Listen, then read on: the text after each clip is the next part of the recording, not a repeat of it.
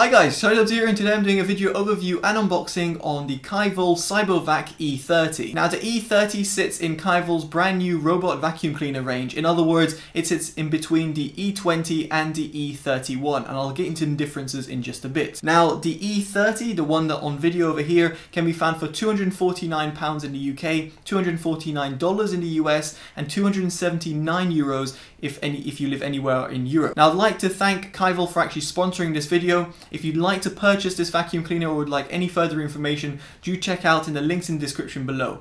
So without further ado, let's get into it. So let's go ahead and unbox the product. It's going to be the first for me as well.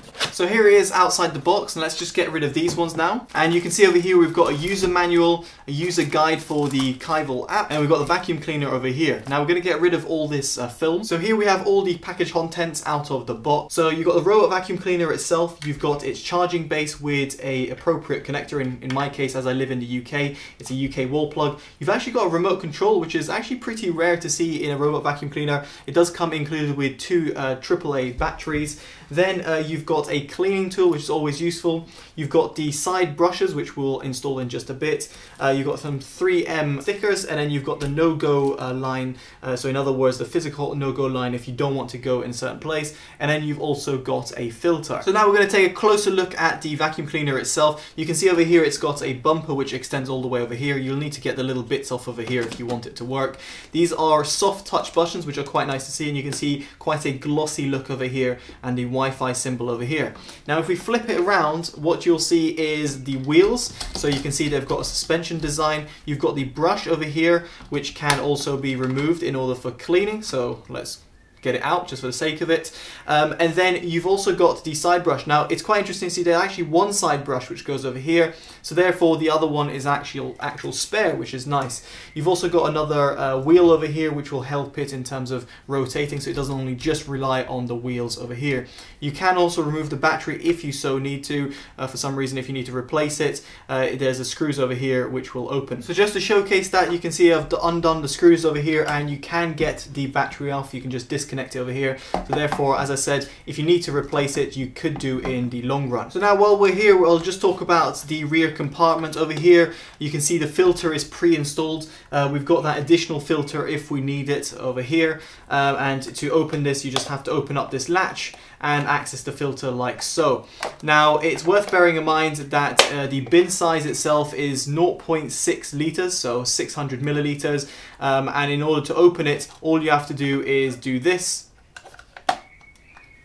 and you can see it opens up and then you just empty it out. It's a pretty easy design and uh, pretty well, uh, well, well designed if you ask me. Now uh, pop that back in and as we pop it back in I'm going to put also its brushes back and then install the side brush over here as well. Now with the brushes installed, this gives me a perfect opportunity to talk about the gyroptic sensor over here, which is used for navigation. This is the biggest difference between the E30 and the E20. Now the E31 also has the same sensor, it also has a mopping function, therefore that's why the E31 is the more premium version over the E30. Now elsewhere in terms of its dimensions and in terms of its weight, in terms of size, it's 325 times 324 times 73 millimeters. So it will fit under pretty much all sorts of uh, furniture. Now with that out the way, let's switch it on. There's actually a switch uh, over here.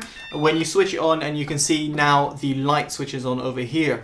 Now what we're going to do is go and set up the uh, robot vacuum cleaner via the app which is included um, and free to download on iOS or the Play Store. And now you can see the Kyvol app over here. Now I've already connected up the uh, robot vacuum cleaner to the phone um, and indeed the app. It's very simple. You just have to ensure that you've got a 2.4 gigahertz frequency band, um, and at which point, when you do that, uh, you want to hold the power button um, and the home button on the device itself. It will flash the Wi-Fi button at the top uh, several times and it'll start quickly flashing, at which point you go and add a device and then it pretty much connects up pretty much instantly. However, if you have any trouble like that, uh, Kyvol have added uh, an application where you can have it via an AP mode. In other words, it creates its own Wi-Fi network and then you connect up to its own Wi-Fi network, its built-in Wi-Fi network. If you have issues, you can do it via that way as well. In my case, it worked via the normal connection method. So now let's talk about the app itself. It's very easy to understand. The big green button does exactly what it says on the tin. It does clean, so it starts um, cleaning. You can see right now it's on its charging dock, and you might see the LEDs flashing and flickering. That is my camera. Normally it's just pulsating very slowly, so it's just worth bearing that in mind.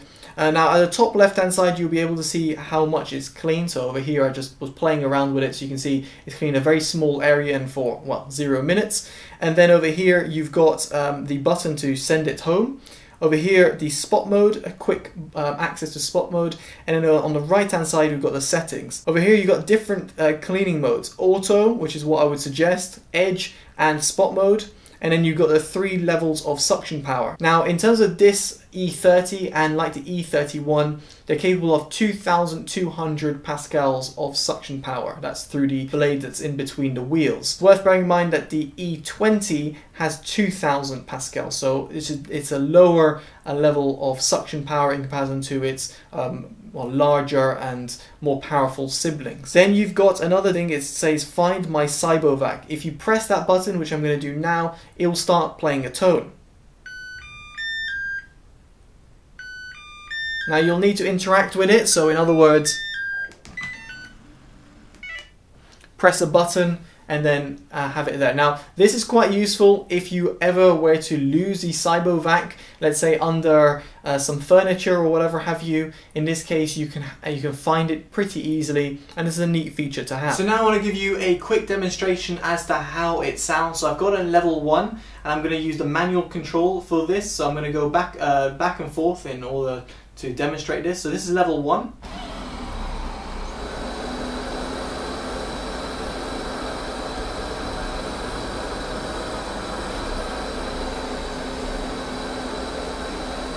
Now level 2.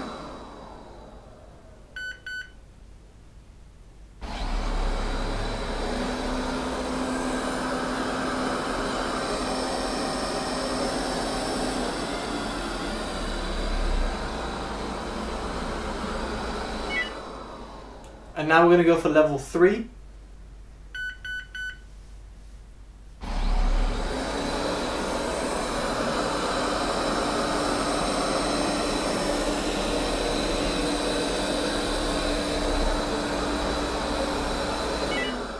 So hopefully that gave you an indication as to how it sounds.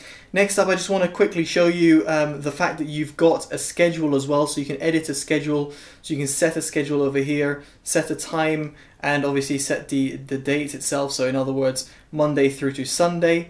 And then from there, we've also got the about device. So here you can update your firmware, see your cleaning record to see what it's actually done. Uh, consumables, so in here you can uh, give you an indication as to how it needs to be changed. So for example, if you need to change its um, HEPA filter or the brush or the side brush, and of course when you do change it you can reset it as well to ensure that the app um, keeps up with that as well. Then you've got device sharing and here you can share the device with somebody else if you so wish. And other than that you can also rename the device if you so wish. In this case it's the E30, I've left it as default. And finally through the app we've also got the voice control option where you can assign Google Assistant or Amazon Alexa to the uh, Cybovac and this works throughout the range so the E21, E30 and E31 are all capable of having the voice assistant as well. Moving on from the app we've actually got the physical remote which is included with the uh, robot vacuum cleaner. You can see it's actually got quite a nice little groove over here which makes it actually quite easy to hold. Now through this you've got pretty much all the same sorts of functionalities. You can press it to go to home and therefore it will try and find its home and then you've got the auto button which will then um, go auto and therefore uh, allow it to then clean um, the room or the your your house should I say and then you've got the manual controls in terms of moving it forwards and backwards.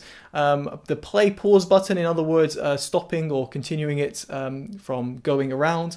And then you've got the schedule, um, spot clean, um, the edge clean as well, the auto clean, and a minimum maximum in terms of how the fans um, react. So, in other words, you've got all the controls that you might want straight through from this remote control as well. So, it's a nice addition, in my opinion, in comparison to other robot vacuum cleaners that um, rely solely on an app. And there we have it, that's been my unboxing and overview of the Kyvol Cybovac E30. Hopefully this video has given you an indication of how the rest of the Cybovac range will operate, be it from the E20 through to the E31. Let me know in the comments below what you make of it, or indeed of other robot vacuum cleaners out there on the market. And as always, do favorite, subscribe, and like this video, as it always helps the channel grow. And of course, I very much appreciate your time. Alright guys, I've been totally dubbed. Take care and bye bye.